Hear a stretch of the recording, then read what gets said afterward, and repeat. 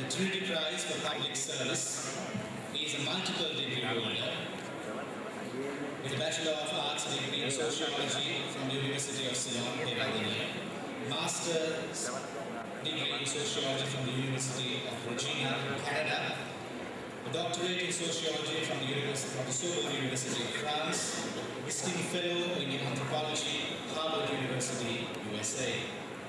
On several assignments, lecturer in Sociology, University of Ceylon, Peradeniya, member of the Ceylon Civil Service on several, in several locations of the island, including Ratnapura, Galle, Matara,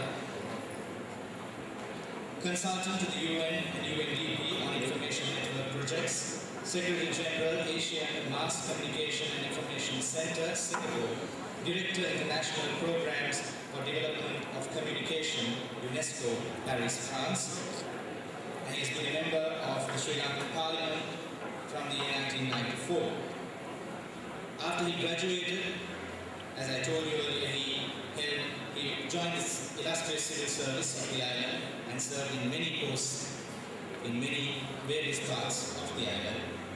He also held the post of Director of Information and Permanent Secretary to the Ministry of State Broadcasting.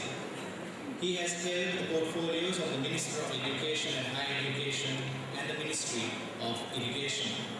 Currently, he is a much admired Minister of Finance and Planning. Ladies and gentlemen, the Trinity Prize for Public Service is awarded to Dr. Sarath Amunugama.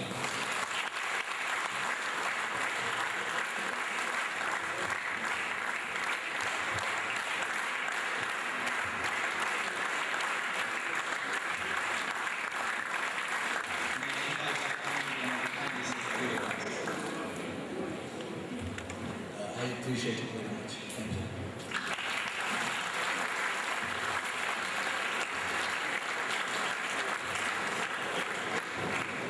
Thank you, Honorable Minister. The Trinity Prize for Sport.